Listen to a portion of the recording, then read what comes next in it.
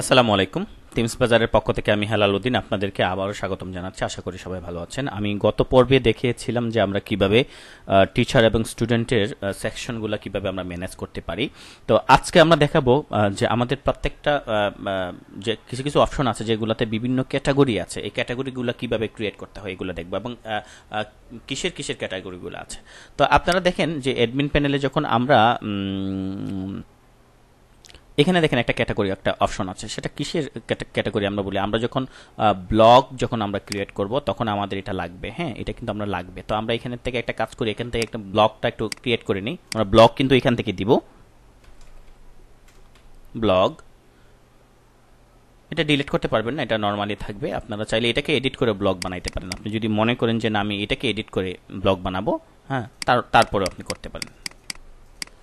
আবার চাইলে এখান থেকে নতুন করে ব্লগ বানাইতে পারেন। আবার ব্লগটা মূলত কি? আপনারা চাইলে তো এখানে ব্লগ আছে, আপনারা তো এখানে অনেক কিছু রাখতে পারেন। এখানে আপনি কন্টেন্ট দিতে পারেন। স্টুডেন্টদেরকে ইংলিশ দিয়ে শুধু ইংরেজি যে টপিকসগুলো এখান থেকে আপলোড দিতে পারেন। তারপর বাংলা চাইলে বাংলায় এগুলো দিতে পারেন, ইতিহাস দিলে ইতিহাসের কন্টেন্টগুলো আপলোড দিতে পারেন। এখানে ব্লগ মানে যে শুধু নিউজ পেপার বা আপনার স্কুলের যে ইভেন্টের নিউজগুলা শুধু ইভেন্টের নিউজগুলো হবে তা না ব্লগ হবে শুধু তা না।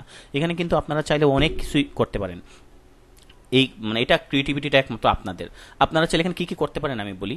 আপনারা চাইলে এখানে ব্লগ করতে পারেন, এখানে চাইলে আপনাদের স্টুডেন্টগুলা কবিতা, গল্প আপলোড দিবে। আপনারা চাইলে এখান থেকে বিভিন্ন টিউটোরিয়ালগুলো দিতে পারেন। ফর এক্সাম্পল যে বাংলার জন্য আলাদা, ইয়ের জন্য আলাদা, তখন আপনারা এখান থেকে ক্যাটাগরিগুলো ক্রিয়েট করে নিতে পারেন ওই নামে।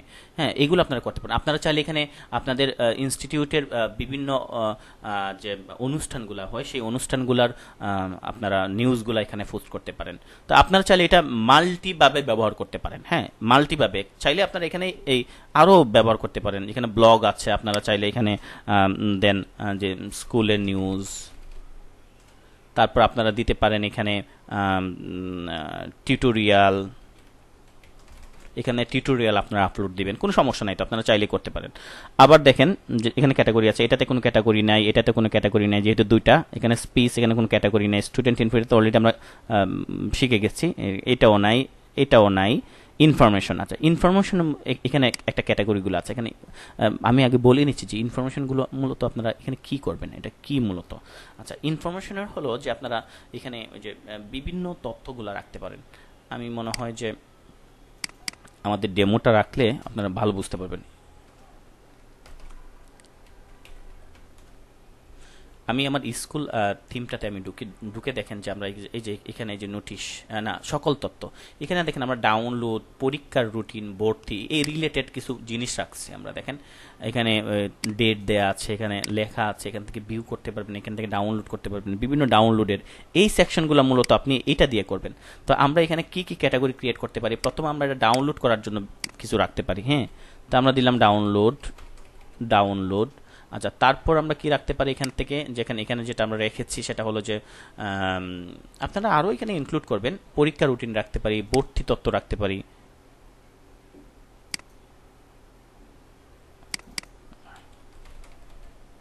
ডাউনলোড পরীক্ষার রুটিন তারপর ভর্তি সংক্রান্ত আরও যদি আপনাদের বিবিধ কোনো ইয়ে থাকে, সেক্ষেত্রে আপনারা এখানে থেকে ক্রিয়েট করে নিতে পারেন। তারপর কোর্সেস কোর্সেসটা মূলত কি? আমি এটাও একটু বলি। আমরা আমরা কিন্তু এখন জাস্ট ক্যাটাগরিগুলো ক্রিয়েট করছি। মানে এই- যে ক্যাটাগরি মানে এই যে ক্যাটগুলো মানে ক্যাটাগরিগুলো জাস্ট এই ভিডিওতে আমরা শুধু দেখব যে কীভাবে ক্যাটাগরিগুলো ক্রিয়েট করতে হয়। আচ্ছা কোর্সেসটা মূলত কি? কোর্সেসটা হলো যে আপনারা যে চাইলে এখান থেকে ইয়ে করতে পারেন যে কোনো স্কুলের মধ্যে দেখা যায় যে এক্সট্রা কিছু কারিকুলাম আছে, যেমন সংগীত প্রশিক্ষণ আছে, তারপর আপনি আপনার হয়তো বা ইংলিশ স্পিকিং আছে, তারপর হলো যে আপনার হয়তো বা আরও এই রিলেটেড অনেক কিছু থাকতে পারে, আপনারা তো আমার থেকে ভালো বুঝবেন। যে আমি জাস্ট এক দুটো এক্সাম্পল দিচ্ছি। তো এগুলো আপনারা ক্রিয়েট করতে পারেন। এখান থেকে আমরা লিখলাম যে ধরেন সংগীত। তারপর ধরেন আমরা দিলাম সেখানে স্পিকিং ইংলিশ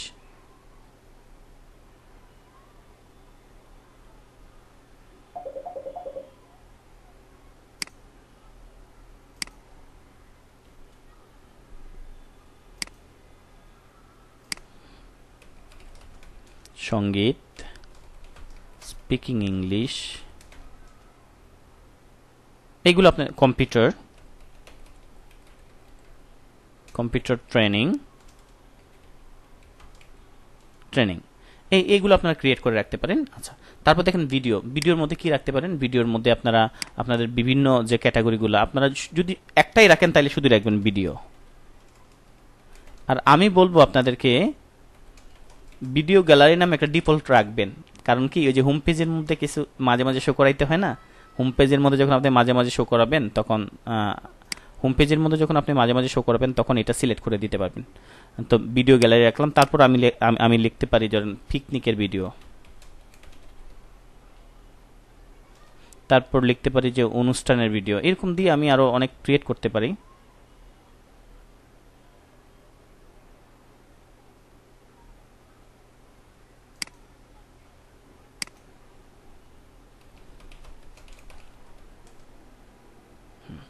এবার এরকম দিয়ে আপনি ক্যাটাগরি ক্রিয়েট করে নিতে পারবেন।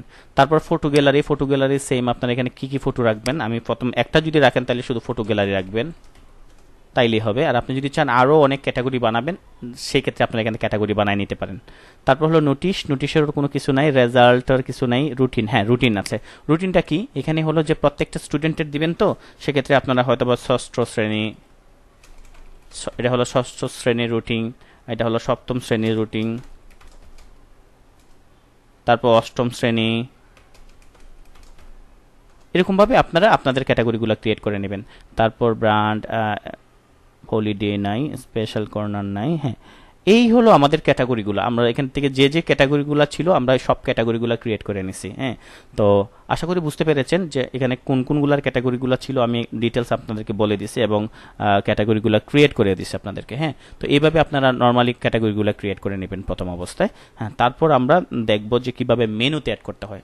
আমরা নেক্সট ভিডিওতে আমরা দেখব যে কীভাবে মেনু বানাইতে হয় হ্যাঁ? মেনু বানাইতে কীভাবে হয়, এটা নিয়ে আমরা একটু ডিটেলস একটু আলোচনা করব হ্যাঁ? নেক্সট ভিডিও দেখার আমন্ত্রণ জানিয়ে শেষ করছি। আসসালামু আলাইকুম রহমতুল্লাহ।